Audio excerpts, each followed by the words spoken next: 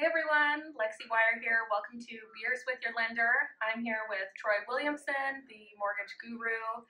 He's our lender that we use all the time. He's awesome.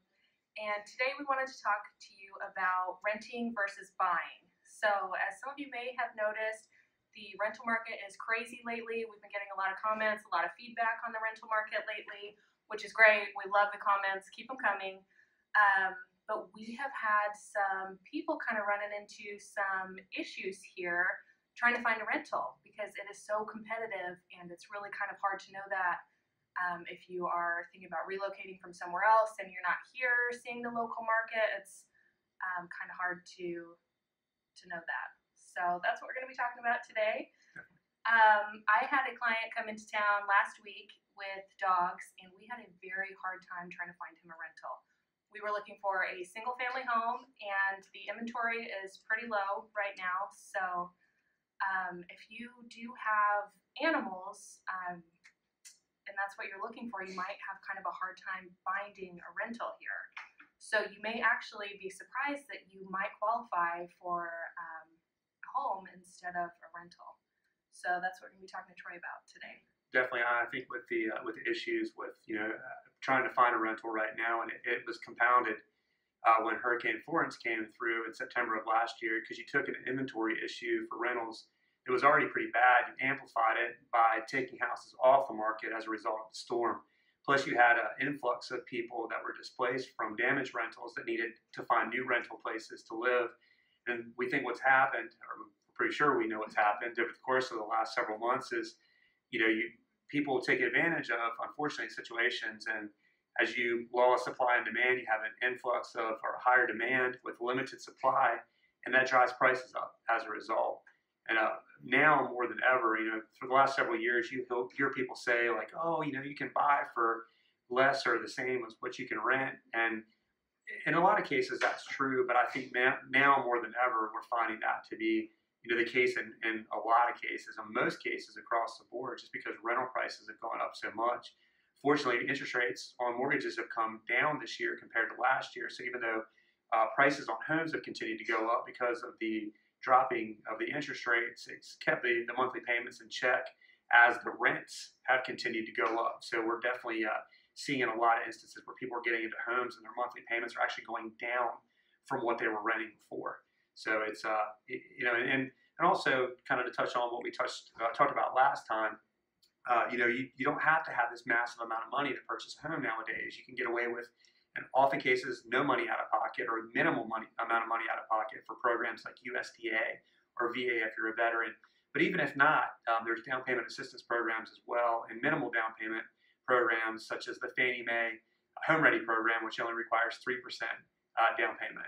So there's definitely some some good viable options out there for financing, and, and not only that too, but you know if you're buying something, it's yours. If you have pets, you don't have to worry about paying a pet deposit or finding a, a place that's pet friendly that's going to allow you to have your pets there. So it just takes some of the stress out of finding someplace uh, you know to call home.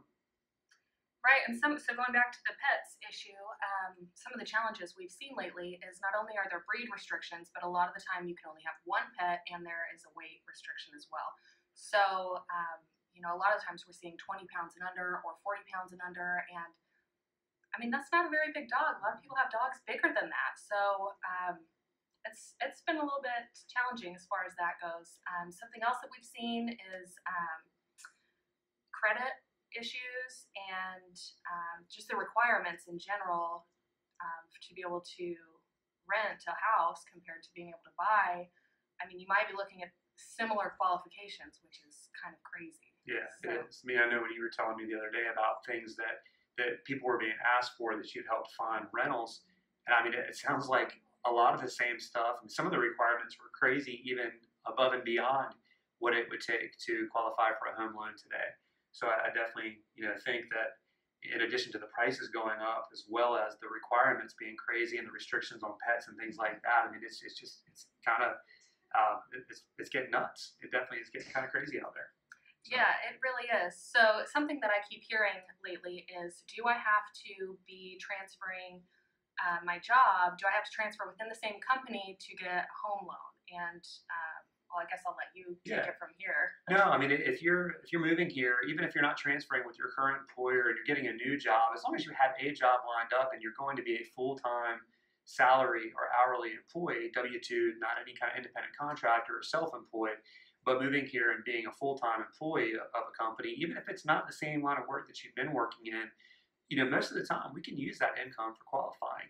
Um, a lot of times, even if you haven't started yet, but if you've got a non-contingent offer letter or employment contract from the employer that you're going to be working with, we we can use that as future income as long as you're going to start that job within 60 days of the time that you close. So there are some creative things out there that are well within guidelines for mortgages that that could allow you to qualify and not you know you don't have to wait until you start your job and are there for 30 days worth of pay stuff before you can close on a home or something like that.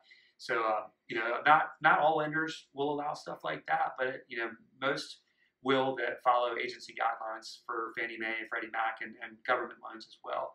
So uh, there are options out there where you know where you might feel like, hey, I'm not going to be able to qualify for a home, but uh, in, in a lot of cases, you very well may. You definitely might be surprised. We've had a couple um, clients lately that have given Troy a call, and they've been very surprised to hear that they actually do qualify. And um, like Troy was saying earlier, the prices have gone up a little bit. So, I mean, you could potentially be paying the same price for your rental as you could for, you know, the mortgage on your home that you own. So, Definitely. So we appreciate the, uh, the opportunity to pass along some information to you guys today. And, and as always, if you got any questions or you want additional information, feel free to reach out to us and we'll be happy to help. That's right. So if you are interested in um, just taking a look and seeing what you qualify for, go ahead and give Troy a call. So he can usually tell you in about 30 minutes what you qualify for, whether or not you know we can move forward or not. So it's good to know where you stand. Sounds good. All right. Well, thanks so much, Troy. Absolutely. Thank you. I Cheers appreciate to it. another Cheers. Beer with your lender. Thanks, you guys.